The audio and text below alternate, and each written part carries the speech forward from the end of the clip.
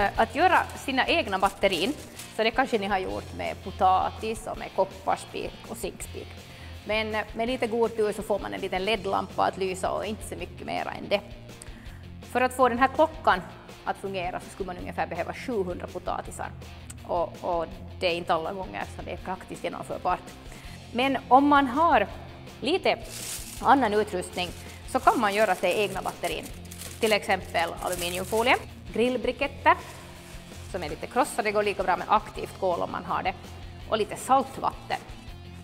Aluminiumfolien, och den sätter man i, i botten här under och så sätter man ett papper på och mitt i här så sätter man då krossade grillbriketten. Sen har jag helt vanlig kopparplåt. Och nu är det ju viktigt att inte kopparn och aluminiumet rör i varandra för då kortsluter det ju så jag viker under aluminiumfolien.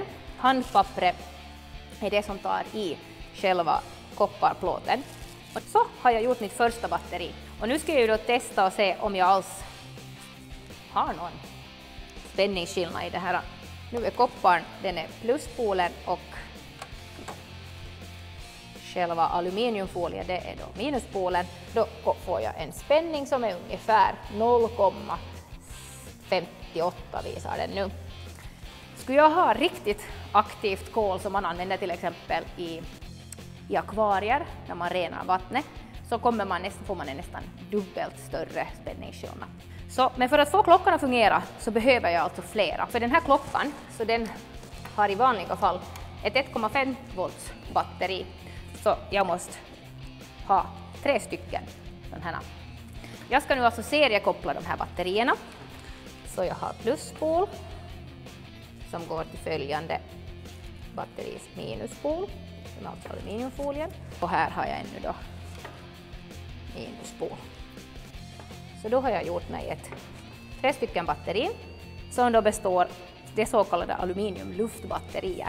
Här bakom då så ser man hur det här fingerbatteriet ska sättas in och då visar det från, här ska minuspolen vara och så sätter jag från kopparplattan har vi då plus. När de här batterierna de fungerar ganska länge men de torkar ut så man kan måste gå och hälla till lite vatten in i de här aluminiumförpackningarna. De går med olika salter, till och med med urin om nöden är riktigt stor. Om vi tittar in i det här ena batteriet och hur, hur det blir och ser ut så kommer man att se att aluminiumet riktigt har oxiderat och blivit riktigt mörkt. Och det här skulle man egentligen nu kunna ladda på nytt men då skulle man måste föra då ström till så att den här oxiden skulle lossna så att aluminium igen skulle bli sådär blankt så då skulle man ha laddat batteriet så att säga och kan köra vidare.